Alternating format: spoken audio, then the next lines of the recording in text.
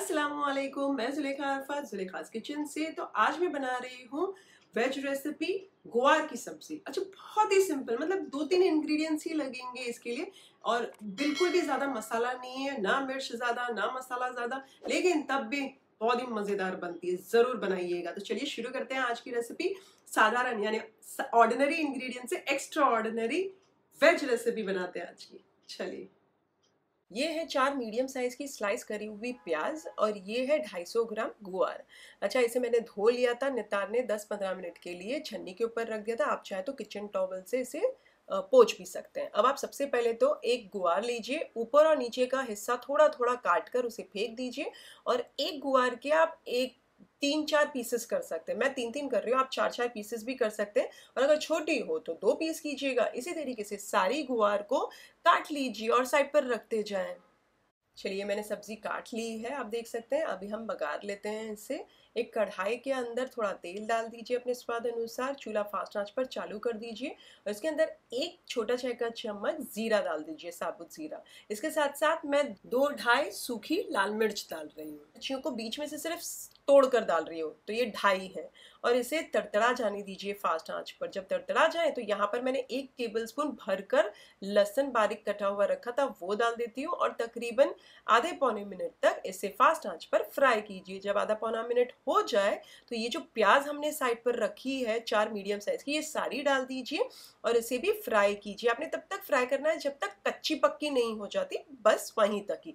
Fast आँच पर fry कीजिए और बार बार चलाते रहिएगा कि लग ना जाए ना जल ना जाए हमारी प्याज कुछ मिनटों में तो प्याज कच्ची पक्की हो जाएगी। ये देखिए, कच्ची पक्की हो चुकी है तो यहाँ पर जो गुआर साइड पर रखी है, सारी डाल दीजिए और इसे चला लीजिए और इसे तकरीबन प्याज के साथ फास्ट आँच पर बार बार चलाते हुए एक मिनट तक पका लीजिए।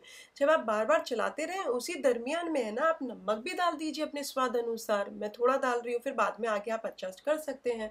नमक डाल दीजिए, फिर से चला लीजिए और एक मिनट जब आप फ्राई कर लें ये हमारी गुआर को तो इसके अंदर तकरीबन एक कप पानी डाल दीजिए, एक बार चला लीजिए और उबाल आ जाने दीजिए। जब उबाल आ जाए तो स्लो आँच करके ढक कर इसे तकरीबन 15-20 मिनट तक पकने दीजिए। तब तक पकाएँ जब तक हमारी गुआर नहीं गल जाती।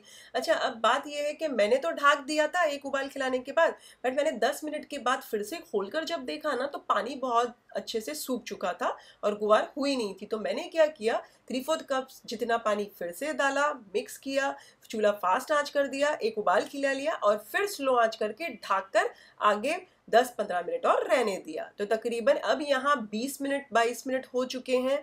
मैंने नमक चेक किया हल्का सा नमक कम लगा तो यहाँ नमक एडजस्ट कर रही हूँ, आप भी कर लीजिए। हल्का सा मुझे पानी टाइप लग रहा है तो मैं तीन चार मिनट तक और इसे पकने देती हूँ। गुआर तो पूरी तरीके से हो चुकी है। तो मैं ढाक कर तीन चार मिनट पका रही हूँ। चलिए, तीन चार मिनट हो चुकी है, तेल छूटने लगे मतलब हमारी गुआर हो चुकी है। तो आपने देखा कितनी सिंपल, कितनी आसान, मज़ेदार सी थी। चूल्हा मैंने कर दिया बंद जब तेल छूटने लगा तो। अब ये देखिए मैंने टेस्ट किया, बहुत ही मज़ेदार है। हमारी सिंपल बट डिलिशियस गुआर की सब्ज़ी को एक प्याले में निकालें और गर्मा गर्म रोटी या पराठा या फुल्का के साथ सर्व कीजिए। तो आपने देखा कितने कम इंग्रेडिएंट्स में हमने गुआर की सब्ज़ी बनाई और ट्रस्ट में जब आप खाओगे ना, उंगलियाँ चाटते रह जाओगे, इतनी मज़ेदार लगेगी आपको इनशाला अब आप ये कहेंगे कि स्पाइस कहाँ है इसमें? लेकिन स्पाइस जो ना हमने सूखी लाल मिर्ची डाली है ना, ढाई। तोड़कर इसी से ही स्पाइस मिलेगा और मैंने इसके बिज्जे फेंके नहीं थे, इसी में ही डाल दिए थे। तो स्पाइस तो इसी से ही मिलेगा। अच्छा अच्छी खासी स्पाइस भी थी मेरी ये वाली सब्ज़ी के अंदर, लेकिन अगर आपको कम चाहिए तो आप कम ये सूखी लाल मिर्ची डालिए। अगर आपको ज़्यादा चाहिए तो मेरी तरह ढाई डालिएगा। लेकिन है बड़ी मज़ेदार और स्वादिष्ट गुआर की सब्ज़ी हमारी। तो है ना मज़ेदार रेसिपी आज की? अगर आप ये रेसिपी बनाए तो मेरे साथ कमेंट सेक्शन में ज़रूर शेयर कीजिएगा। मुझे आपके कमेंट्स पढ़ने बहुत अच्छे लगते हैं। रेसिपी अच्छी लगे तो जल्द से जल्द लाइक कीजिए ये वीडियो को सबसे पहले और उससे ज़्यादा अच्छी लगे तो अपने फैमिली और फ्रेंड्स में इसके लिंक ज़रूर फॉरवर्ड कीजिएगा। फिर से हाजिर होंगी एक नई शानदार, दमदार रेसिपी के साथ। आंसर देन टेक केयर अल्लाह हाफिज़। Bye bye